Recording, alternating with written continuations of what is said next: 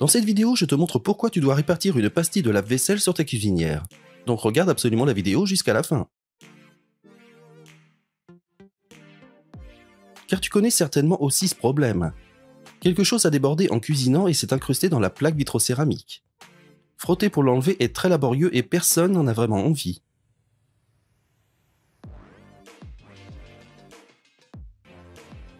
Mais tu peux aussi l'enlever très facilement avec une pastille pour la vaisselle et c'est ce que je vais te montrer maintenant. Le résultat à la fin de la vidéo va certainement te surprendre. Pour cela, tu prends une pastille pour la vaisselle classique et tu le mets dans un récipient. On y ajoute ensuite de l'eau bouillante. Il suffit d'une petite gorgée. Je l'ai fait chauffer dans la bouilloire. Je l'y mets et je remue bien le tout, et ce jusqu'à ce que les tablettes de la vaisselle soient complètement dissoutes.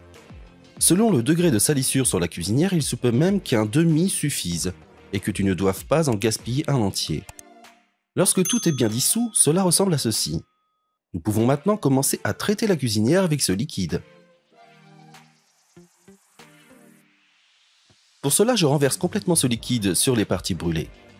Tu peux bien sûr aussi le faire avec un chiffon, selon ce qui fonctionne le mieux pour toi.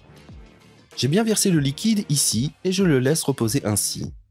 Car tu vois maintenant que nous avons mis un peu de notre liquide vaisselle sur les zones brûlées et que cela doit agir un peu. Environ 15 à 20 minutes devrait suffire. Une fois le temps écoulé, tout ce que tu as à faire c'est de prendre un chiffon humide et de le passer sur la surface.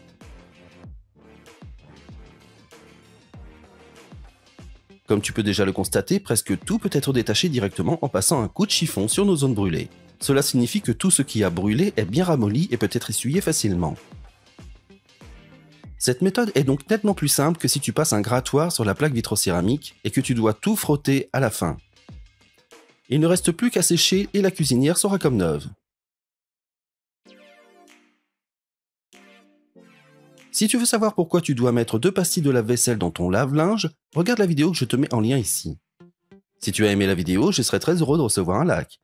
Et n'oublie pas de t'abonner à cette chaîne et d'activer la cloche pour ne plus manquer aucune nouvelle vidéo à l'avenir.